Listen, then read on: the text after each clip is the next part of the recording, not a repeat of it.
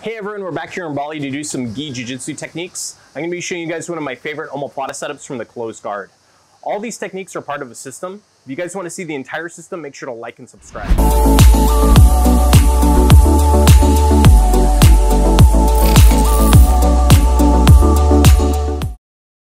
Um, okay, so we're utilizing this grip break, right?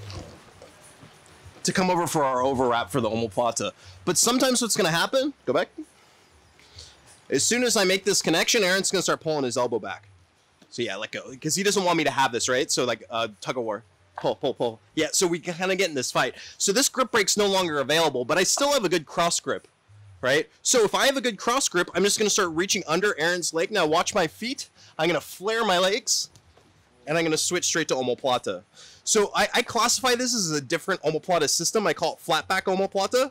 Okay, and we're gonna do a bunch of different transitions from here as well. And the reason it's uh, I kind of call it flat back is because I'm more committed to this leg. It makes it harder for me to sit up. Not that I can't sit up from here, but it's going to change the dynamics of the position a little bit.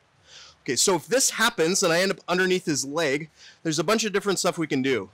My left hand, I can always pummel out and go back up to the belt. Okay, once I have the belt, now it's easy for me to extend my legs, scoot my hips back, and go back to the original finish. So we can always transition back to what we already know, which is the omoplata finish.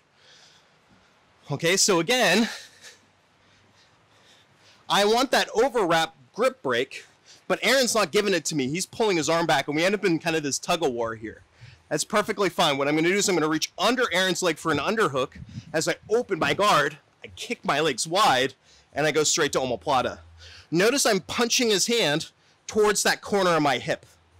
Now, so I keep good control, I can reach up to his waist, grabbing his belt. Now I can look to extend my legs away, start scooting my hips back, and go back to our finishing position. Okay, again, from here we just drive forward over that far shoulder to get the, the torque we need to finish. One more time.